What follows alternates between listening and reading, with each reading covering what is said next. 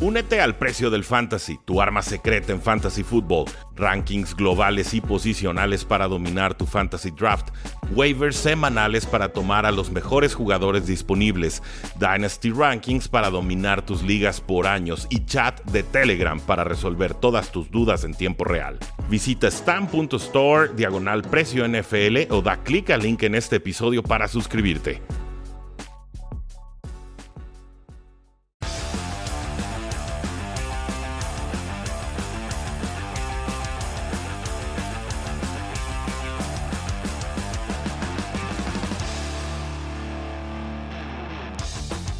Saludos a todos y bienvenidos a un programa más de Cuarta y Gol, donde la NFL no termina y nosotros tampoco. Mi nombre es Jacinto, me encuentran en Twitter como arroba NFL y ya concluyó la semana 1 de actividad en la National Football League.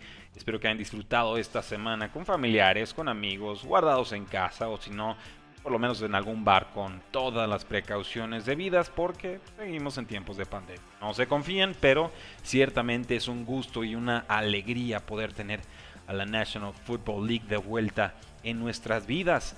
Ya platicamos sobre casi todos los resultados de la semana 1, con algo de eco ahí disculpen, grabamos en un lugar que todavía no está al 100% para matar el sonido, pero había que sacar el episodio y así lo hicimos.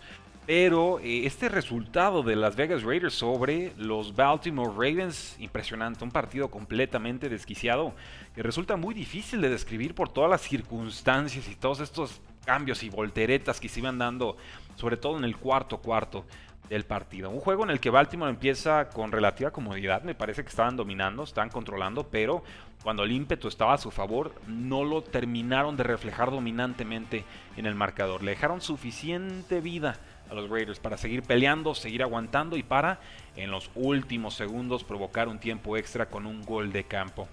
Recuerden, este era el primer partido con aficionados en el Allegiant Stadium.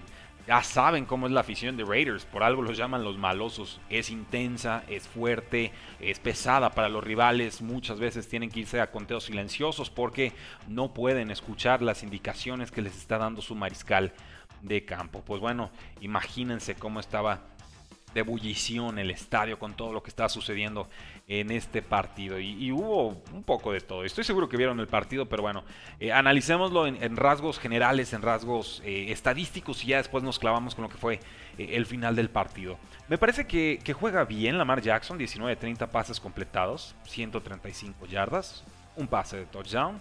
Y además, pues tuvimos la producción terrestre a la que ya estamos tan, tan acostumbrados, ¿no? 12 acarreos, 86 yardas, eh, pero fumbles. Fumbles, fumbles, fumbles. Hubo tres fumbles en este partido y obviamente esta es una forma muy difícil de poder ganar encuentros. Entonces, no, tendremos que, que limpiar esto en nuestras estadísticas, joven Lamar Jackson, porque si vamos a correr tanto, pues ciertamente no podemos permitirnos tantas entregas de balón.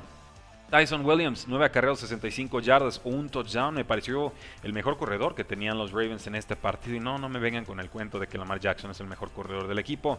Ya sabemos que lo es, pero hablo de un de facto running back número uno. Además tuvo tres recepciones para 29 yardas, pero lo dio un tanto desfasado del equipo en la segunda mitad. Como que le quisieron dar ahí un poco más de, más de toques, más de oportunidades eh, a, a Latavius Murray. Este jugador que fue pues cortado por el equipo de los Santos porque no se quiso bajar el sueldo, estaba en su derecho. Pero bueno, 10 acarreos, 28 yardas, un touchdown. Y también vimos un poco de Trenton Cannon, ¿no? Dos acarreos, 5 yardas, pero ya fue cortado por el equipo. No sé a cuál sea, cuál sea la intención ahí. Quizás mandarlo al practice squad, quizás llamarle a Le'Veon Bell para que sea el corredor número 3 del equipo. Pero, pues bueno, creo que lo que vimos en este partido 1 es que la Tavis Murray va a ser importante, pero que Tyson Williams sigue siendo el corredor principal. Semana 1, semana de Sammy Watkins. Ya se la saben. Con Buffalo, con los Chiefs, con los Baltimore Ravens, Sammy Watkins hizo lo de siempre. Cuatro recepciones, 96 yardas. Y quizás no volvamos a saber de él en las próximas 17 semanas, pero en postemporada seguro que se aventará algún buen partido. No me preguntan por qué, simplemente así sucede con Sammy Watkins, un jugador al que aprecio, pero que ciertamente es la definición inconsistencia. Marquise Brown, 6 recepciones, 69 yardas, un touchdown, fantástico. Mark Andrews tuvimos una pobre exhibición, tres recepciones, 20 yardas, esperemos más de él en lo que resta de temporada. Y ya si pasamos al costado ofensivo de las Vegas Raiders, pues bueno, un Derek Carr que fue muy inconsistente en la primera mitad. 34 de 56 pases completados, 435 yardas, dos touchdowns, una intercepción, tres capturas, eh, un fumble que no termina siendo perdido. Con Lamar Jackson fueron tres fumbles, dos de ellos perdidos. Eh, eh, inseguro Derek Carr, ¿no? Me parece que de alguna manera le está llegando la presión, le están llegando los blitzes, le está llegando el hecho de tener que estarle remontando a los Baltimore Ravens. Y es cierto, Baltimore también tuvo muchos problemas en su posición de tackles ofensivos. Ni Ronnie Stanley ni por supuesto Alejandro Villanueva, el ex Steeler, le pudieron ayudar, ¿no? Veíamos que una y otra y otra y otra vez lograban penetrar los defensivos de Raiders, ¿no? Carl Nassib y, y causaban toda clase de estragos. Tenemos que ver si esto fue porque la línea ofensiva de Baltimore es mala, porque no está al nivel, o porque el pass rush de Raiders va a ser así de fuerte. Entonces, ese es el tipo de datos o de tendencias que me interesa confirmar o desmentir en próximas semanas. Josh Jacobs 10 acarreos, 34 yardas. Dos touchdowns, buenísimo. Una recepción de 6 yardas. Josh Jacobs sigue sin ser factor en ligas PPR. No lo utilizan por aire, es una habilidad que tiene, pero está clarísimo que a John Gruden no le interesa explotarla. Ya si hablamos de, de Kenyon Drake, pues 6 acarreos, 11 yardas, 5 eh, recepciones para 59 yardas. Ahí es donde produjo más. Entonces, pues una, una situación comparable, similar a lo de Nick Chubb y Kareem Hunt con Browns, ¿no? Jacobs en primeras y segundas oportunidades, Kenyon Drake en terceras como jugador de relevo. Y pues ya está. Hasta nos dimos el lujo de ver a Marcus Mariota con un acarreo para 31 yardas. Por aire, Raiders, mucho que reportar. Darren Waller, 10 recepciones, 105 yardas, un touchdown. Como 20 targets le lanzaron al end número 1 de Raiders, pero posiblemente con este volumen de trabajo también al tight end número uno para efectos de fantasy football. Aunque se llamen George Kittle o se llamen Travis Kelsey sus rivales, su competencia, con 20 targets por partido, cualquiera se convierte en el número uno de su posición. Brian Edwards aparece así al final del juego, cuarto, cuarto tiempo extra, pero qué forma de aparecer. Cuatro recepciones, 81 yardas, pases profundos, escapándose. Un jugador con buenos reportes en pretemporada. En este juego tardó muchísimo, pero se hizo sentir en los momentos importantes. Hunter Renfro, ¿no? Ya en la transmisión lo estaban llamando como tercera y Renfro, porque todas iban a él y todas las lograba convertir es difícil de tener a Renfro, es, muy ágil, me recuerda mucho a Edelman, pero creo que es más veloz el mismo Renfro. 6 recepciones, 70 yardas y, jugadas muy importantes, insisto, moviendo las cadenas. Y un touchdown de Say Jones, dos recepciones, 46 yardas, eh, en su momento tomado por Buffalo altísimo. Llega a los Raiders, lleva varios años aquí, pues está tratando de reflotar su valor. Entonces, estadísticamente hablando, eso es lo que terminó sucediendo. Pero por supuesto, la historia de este partido estaría incompleta si no habláramos de este frenético final de partido, ¿no? Eh, sucede un poco, un poco de todo. Un strip sack de Carl Nassib sobre Lamar Jackson. Eh, Nassib fue, por supuesto, el jugador que se declaró abiertamente gay en la NFL, el primero en hacerlo. Eh, no se cansaban de recordarnos los comentaristas en inglés, pero eso no es lo importante. Lo importante aquí es que produjo, produjo bien y que se ve más ligero y más fuerte. ¿Qué más tuvimos por ahí? Los Raiders llegaron a estar abajo 14 a 0 temprano en el marcador, ¿no? Entonces eso es un problemón y logran remontar. Creo que aquí mucho, mucho que destacar. En el tiempo extra, pues bueno, vemos toda clase de situaciones. Derek Carr provoca una serie ofensiva antes del medio de, que termine el partido, perdón, y consiguen un gol de campo de 55 yardas, quedan 37 segundos en el reloj. Ravens había tomado la ventaja con una escapada de 28 yardas de Lamar Jackson. Normalmente con eso hubiera alcanzado para que Raiders se llevara este marcador. Esto provocó que Justin Tucker tuviera un gol de campo de 47 yardas que termina convirtiendo. Nos vamos a tiempo extra, por supuesto. Derek Carr conecta un pase de 37 yardas a Henry Rocks y después consigue un pase de 10 yardas para touchdown con Darren Waller. Quedaban 3.44 por jugar. O sea, fue, un ida y vuelta. Ese final de partido fue verdaderamente espectacular. Me parece que los Raiders, sobre todo, se quedaron estancados ofensivamente en el tercer cuarto.